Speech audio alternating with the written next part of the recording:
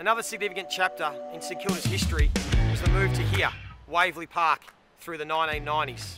It was a transformative time not only for the club moving away from Moorabbin, but also for the AFL. We became a national competition and players transitioned from part-time to full-time athletes. It was the home to some of the most memorable moments in St Kilda's history. The iconic lights out game, winning pre-season premierships and breaking a long-standing finals drought. But it was also home to some of our most iconic cult heroes through the 1990s. And let's go meet a couple of them.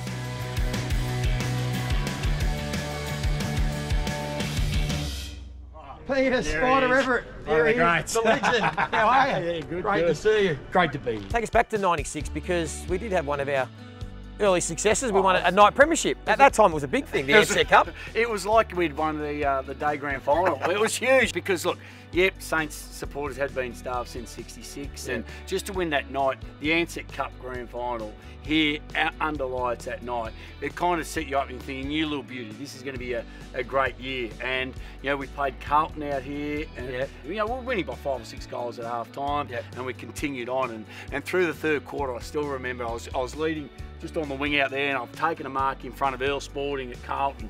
And he's gone to spoil the ball, but he's nowhere near the ball, and he's just clipped me on the jaw, and he actually broke my jaw, and I didn't tell anyone. Yeah. Because I wanted to go out and celebrate. I didn't want to, I didn't want to miss the biggest celebration. St Kilda have had for years and years. I want to ask you about the lights out game here at Waverley because that is one of the most historic nights that everyone still remembers. The night the lights went out at Waverley. What are your recollections? Yeah, it was huge. It was uh, down in the pocket, and they're about to throw it up, and then it flashed, and it come back on. We were Yeah. like, oh, oh, this is all right.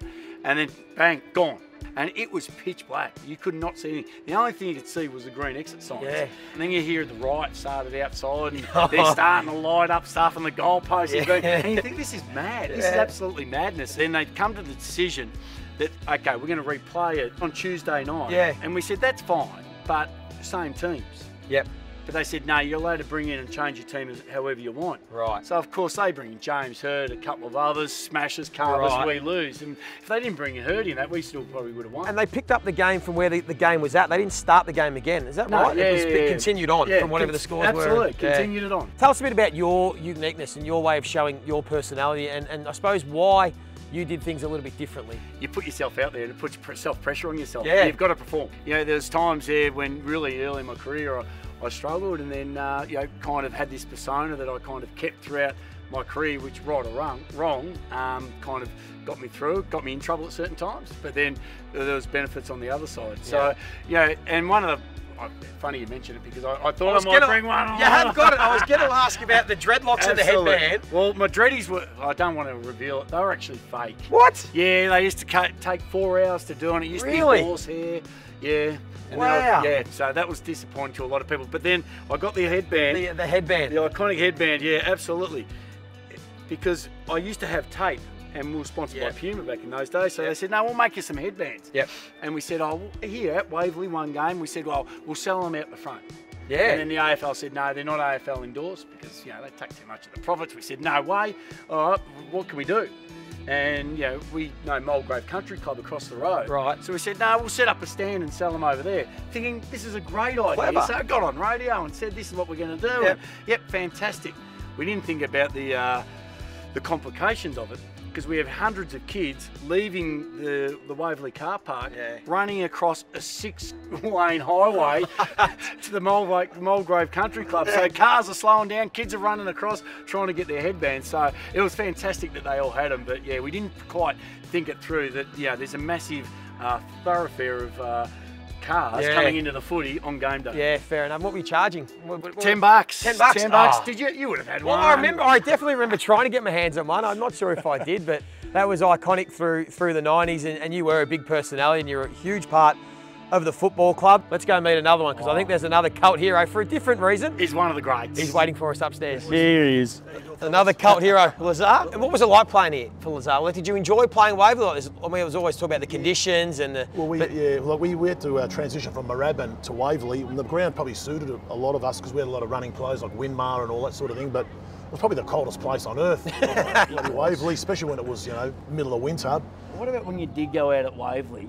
Like when you used to come out here, there was nothing. Like it was just farmland. Like there was only cows. Like you just yeah. park, and we didn't have a yeah. little designated area to park. They just yeah, you just park as the next car. Yep. So you might have to walk nearly half a k through all the punters just to get to the rooms.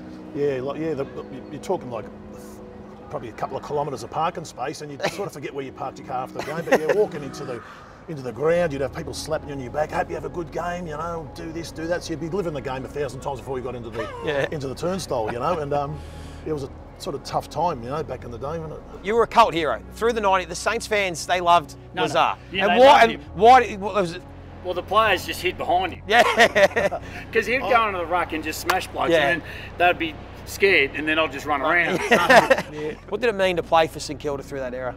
It's an honour, you know, as a player, and you've been through it yourself. And um, it's, I think you, you, stay a saint once you've played with them, you stay a saint forever. But you know, and you look back at your predecessors, Carl Ditterich and Alan Morrow and Jeff Sarau and those guys, and they were all your mentors. They were actually your ruck coaches back in the day. Yeah. So you have to follow that tradition. Yeah, I think you, you kind of look back at you know, the history, and yeah, only one premiership, but so many great defining moments. Yeah. anything from lights out and then you know setting the a goalpost on fire to Nicky Winmar lifting up point to the colour of his skin. So it goes to show that you don't need premierships to have a great football club.